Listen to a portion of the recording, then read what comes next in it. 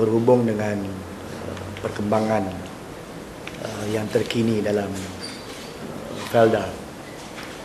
Khususnya membabitkan uh, pertembungan antara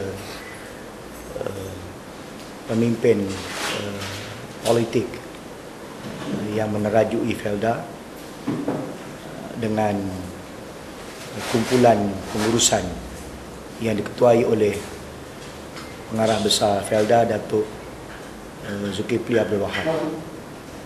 Uh, mengenai uh, dasar yang baru yang dikemukakan berkait dengan polisi perniagaan dalam Felda. Apabila wujudnya satu kumpulan pelaburan dalam Felda yang dipanggil uh, kumpulan Global Venture Sendirian Berhad peneraju pelaburan uh, dalam uh, Felda. Pada 25 hari bulan uh, 8 yang lalu lembaga pengarah Felda yang diketuai oleh Tan Sri Isa Samad. Setelah mendapat persetujuan daripada uh, menteri yang bertanggungjawab mengenai Felda iaitu uh, Datuk Ahmad Maslan. Uh, tanpa kehadiran uh, pengarah besar iaitu Datuk Zulkifli Abdul Wahab yang menunaikan umrah di Makkah. Telah membuat satu tiga keputusan besar uh, yang keputusan ini telah menimbulkan kontroversi khusus uh, mengenai kebimbangan uh, kaki tangan Felda uh, dan juga warga Felda pada umumnya.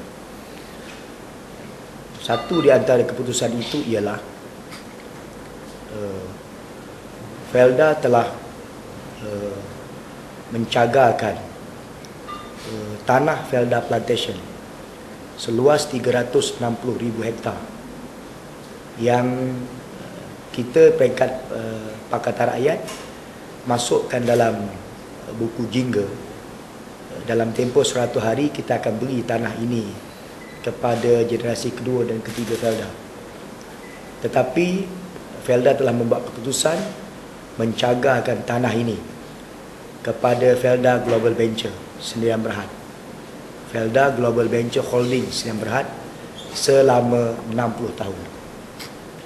Ini bermakna uh, kumpulan uh, Felda Global Venture Holdings yang berhad yang menjadi peneraju pelaburan Felda dalam dan luar negara mempunyai uh, aset yang boleh dicagarkan untuk kepentingan rangkaian perniagaan pelaburan mereka.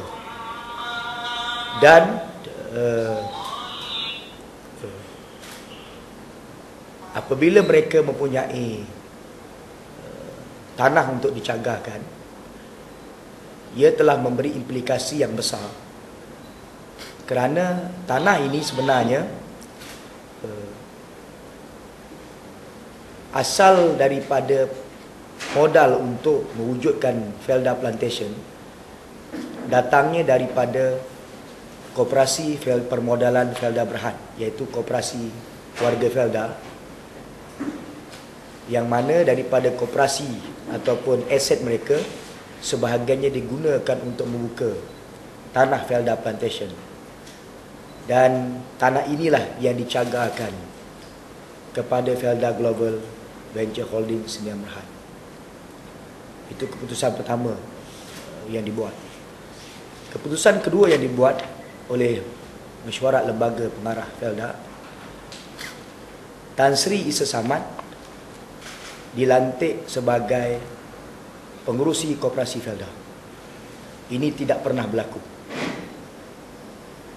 Walhal mereka yang boleh menjadi ahli koperasi dan dilantik jawatan dalam koperasi mestilah terdiri daripada mereka yang menjadi ahli dalam koperasi dia ahli koperasi ini mengikut data terakhir ada 186 ribu lebih kurang begitu. Dia punya ahli dia 186,268 di mana mereka yang layak menjadi ahli ialah peneroka kaki tangan kumpulan Felda isteri dan anak peneroka dan mereka ini sahaja yang boleh diangkat mana-mana jawatan dalam koperasi Felda.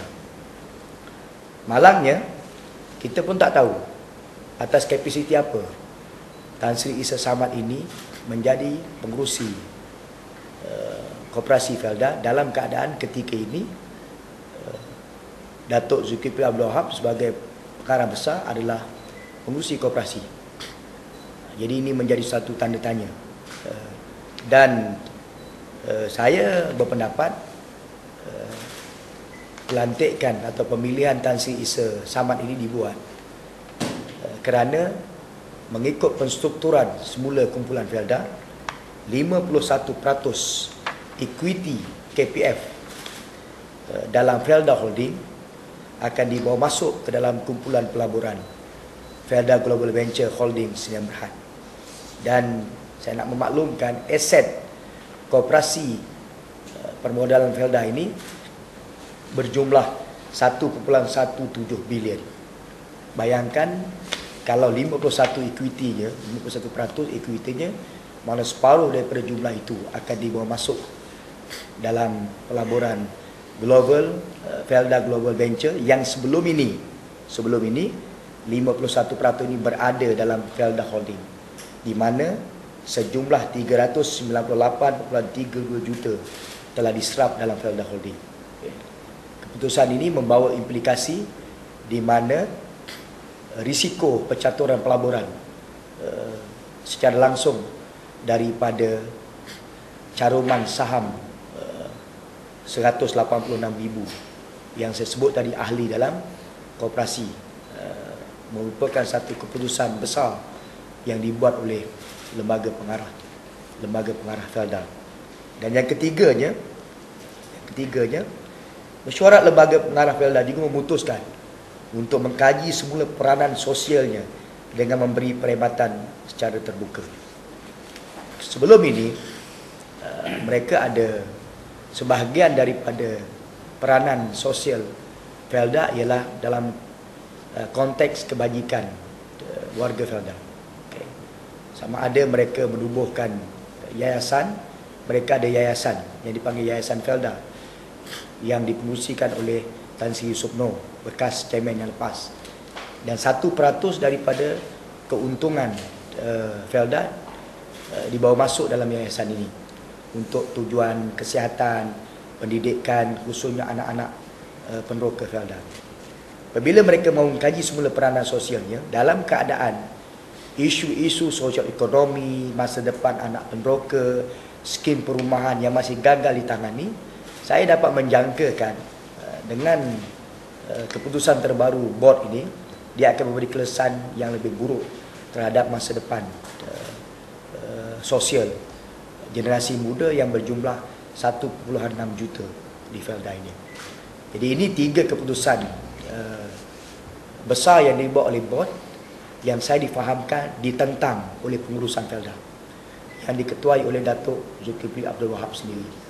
Kerana uh, Tan Sri Isa Samad dengan restu eh, Datuk Ahmad Maslan telah mencampuri urusan pentadbiran yang sepatutnya di bawah bidang dan tanggungjawab pengarah besar dan uh, kumpulan kanan Felda.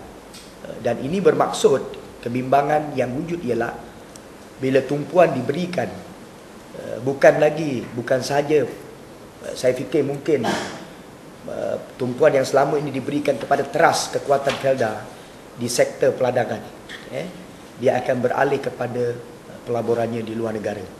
Kerana global Felda Global Venture mempunyai rangkaian di 13 buah negara. Jadi mereka nak cari duit. Mereka tak ada duit. Okay. mereka dah ada di US mereka dah ada di Canada di Saudi Arabia di South Africa eh, dan negara-negara lain mereka mesti menyuntik dana untuk memperluaskan sektor pelaburan mereka. Yang saya yakin uh, nilai semasa uh, aset uh, tanah Felda Plantation seluas 367 ribu hektar. Kalau nak dicagarkan eh, nilai semasanya mungkin tidak kurang daripada 5-6 bilion. Maka cagar itulah yang akan digunakan untuk meminjam daripada institusi kewangan bagi membolehkan peranan eh, kumpulan pelaburan di peringkat global akan menjadi kenyataan. Jadi kebimbangan kita ialah uh, Felda akan disebutkan dengan urusan pelaburan. Okay. Mereka tidak lagi akan memberi perhatian uh, secara uh, secara khusus kepada kumpulan teras mereka. Eh. Sekarang ini pun sebahagian daripada anak-anak syarikat Felda bermasalah. Maintenance kepada ladang-ladang peroka semakin diabaikan. Ini isu yang diutarakan oleh peneroka Felda. Kebun mereka semak. Eh? Dan uh, mereka satu lagi isu yang besar ialah dalam keadaan kebun mereka semak tapi hutang mereka meningkat. Hutang mereka berpuluh-puluh ribu. Isu ini gagal ditangani. Tiba-tiba kumpulan pelaburan akan menjadi bertambah sibuk. Dan sebahagian saya percaya sebahagian daripada pegawai-pegawai Felda akan disibukkan untuk melebar luaskan peranan mereka di peringkat global. Dan mereka perlukan wang. Jadi suntikan daripada kepada kumpulan pelaburan mereka sangat penting termasuk aset yang sedia ada dalam Felda Holding dan juga dalam apa dalam koperasi Felda. Maka kebimbangan saya ialah apabila pelaburan yang terlalu besar di luar negara jauh lebih besar daripada urus niaga mereka dalam negeri risiko daripada perniagaan bukan teras yang mereka buat boleh melenyapkan kekuatan teras yang ada pada pada Felda. Dan ini dibimbangi akan mengulangi nasib seperti Bank Biru Putra yang akhirnya lenyap dan juga masa depan kepada syarikat-syarikat besar seperti Perwaja Steel eh, Pelabuhan Kelang Free Zone eh, dan juga syarikat-syarikat lain yang akhirnya lenyap kerana kegagalan mustakbir yang baik. Apabila kegairahan di kalangan uh, pembuat dasar dalam Felda ini memikirkan soal perniagaan di peringkat global. Saya sebut uh, kerana saya menerima terlalu banyak aduan daripada pelbagai pihak yang mendesak supaya uh, Perdana Menteri uh, membuat satu kenyataan betul terang. Kerana perkara ini cuba disenyapkan daripada pengetahuan rakyat. Rakyat memang tak tahu. Tetapi hari ini uh, ia telah mendapat uh, maklum balas yang sangat negatif daripada kumpulan pengurusan Felda. Ada 23,000 kaki tangan kumpulan Felda. Satu angka yang besar. Dan mereka cukup bimbang dengan perkembangan ini. Eh. Sebab itu mereka uh, buat report kepada kita. Dan wujud sekarang ni semacam satu konfrontasi antara pemimpin politik yang diteraju oleh Datuk Ahmad Maslan dan juga Datuk apa ni Tan Sri Sesamad dengan uh, pemimpin uh, pentadbir yang diketuai oleh Datuk Zulkifli Abdul Wahab.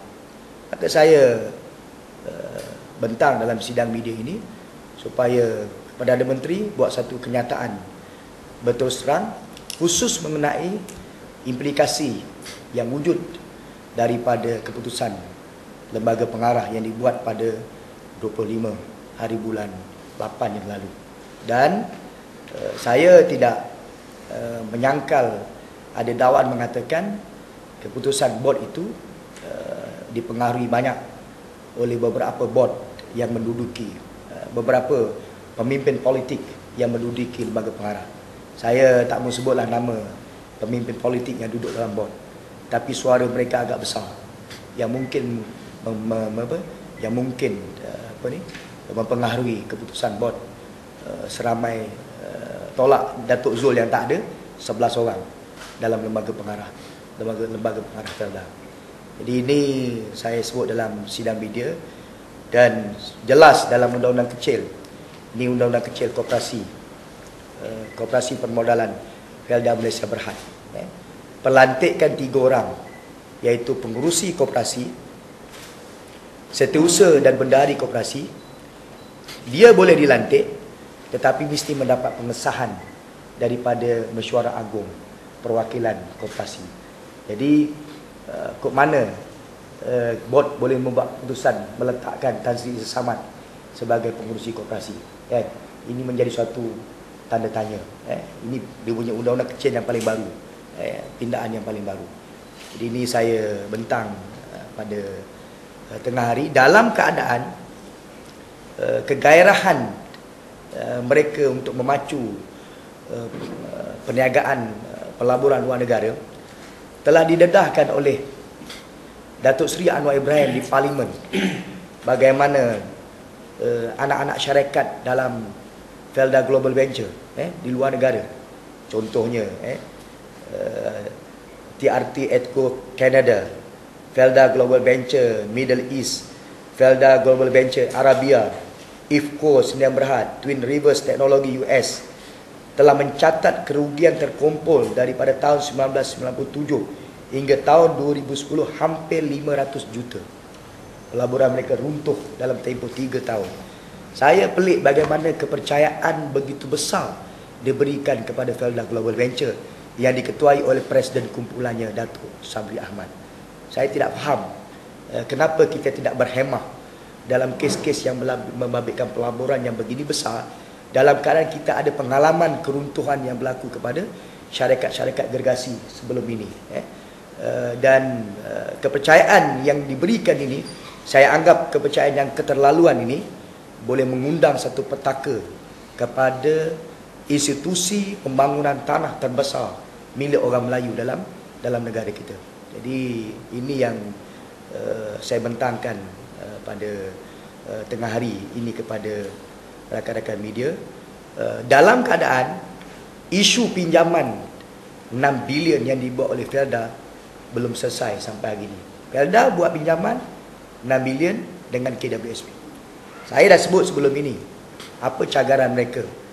Saya tak nampak KWSP beri pinjaman 6 bilion tanpa terma-terma perjanjian yang berkait soal cagaran. Ini bukan 6 juta. Ini bukan 60 juta. Ini 6 bilion. Kan? Saya telah sebut sebelum ini 6 bilion mereka pinjam dengan KWSP. Apa dia punya cagarannya? Tak selesai lagi isu pinjaman 6 bilion Sebelum itu dibangkitkan tentang kemerosotan reserve Felda eh dalam tempoh 2004 hingga 2009 daripada 4.08 bilion tinggal lebih kurang 1.3 bilion saja isu itu menyebab menjahanamkan sebahagian kita punya uh, aset uh, reserve Felda tiba-tiba timbul isu pinjaman 6 bilion. Sekarang timbul pula uh, isu untuk pajak pula uh, aset uh, apa ni uh, tanah Felda plantation. Saya nampak jumlah uh, dari segi orang kata pinjaman-pinjaman ini telah lebih daripada telah lebih daripada 10 bilion kan? Satu perkara yang sangat besar dan risiko yang sedang diambil oleh saya fikir di belakangnya adalah orang politik yang membuat dasar risiko yang diambil terlalu tinggi uh, terhadap Felda kan